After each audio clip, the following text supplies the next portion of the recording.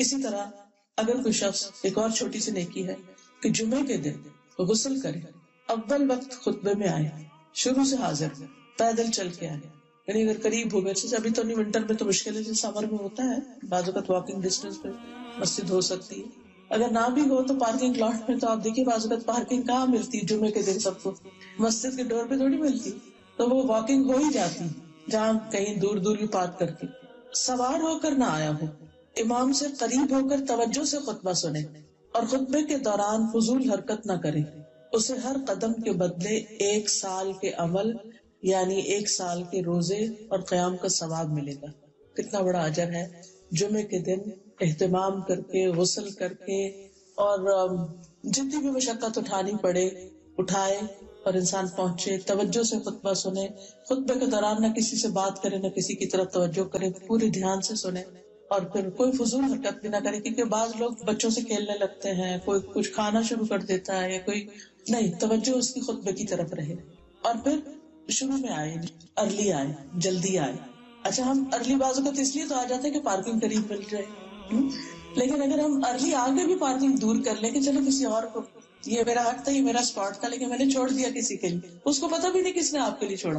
صدقہ کر دیا اپنا وہ اسپاٹ دور جا کے پارک کر کے واک کر کے آئے اس نیت سے کہ میں نے یہ والا اجر لینا ہے۔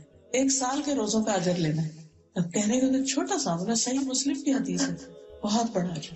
لیکن جو ہمیں پتا نہیں ہوتا، تو اس لیے ہم پھر اس کے اپوزٹ ہی کام کر رہے ہوتے ہیں۔ ویسے بھی عام طور پر مسجد جانا اور خصوصاً اس ملک میں آپ دیکھیے کہ جب گھر میں اصل والی آزان سنی نہیں پاتے ہم اور ایک روحانی اور اسپرچل ماحول کی کمی ہوتی ہے، تو اسپیشلی بچوں کو لے کے جانا، خود جانا، بعض اوقات ہسبینڈ جاب پر ہوتے ہیں یا یہاں نہیں ہوتے، تو ایسی صورت میں بچوں کو لے کے جانا، پہنچانا، یہ بھی ایک بہت ہی بڑا اجر و ثواب کا کام ہوتا ہے۔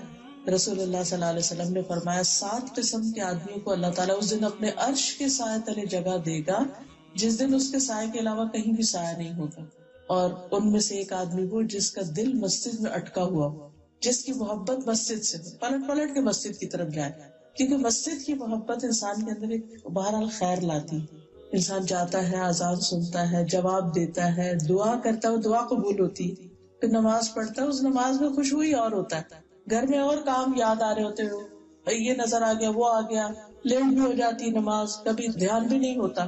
تو کم از کم ون سے ویک تو ایسا اسکیڈول بنانا ہی چاہیے۔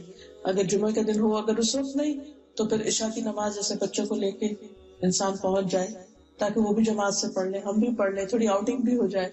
ہر ایک اپنے اپنے حساب سے پلان کر سکتا ہے۔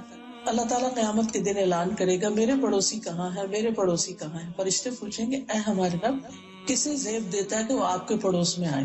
تو اللہ تعالیٰ فرمائے گا، وہ مسجدوں کو آباد کرنے والے کہاں ہیں؟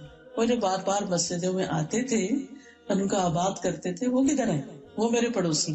پھر اسی طرح ہر قدم پر مسجد کی طرف جاتے ہوئے، ہر قدم پر ایک گناہ معاف ہوتا ہے۔ ایک نیکی لکھی جاتی ہے۔ اور یہ آتے اور جاتے دونوں وقت میں ہوتا ہے۔ صرف جانے کا نہیں ثواب ہوتا، آنے کا بھی ہوتا ہے۔ پھر اسی طرح جو مسجد کی تعمیر میں حصہ لیتا ہے، وہ جنت میں اپنا گھر بناتا ہے۔ خواہ حدیث میں آتا ہے، خواہ پرندے کے گھونسلے کے برابر۔ یعنی چھوٹے سے چھوٹا حصہ بھی ڈال دے انسان، وہ بھی کاؤنٹ ہوتا ہے۔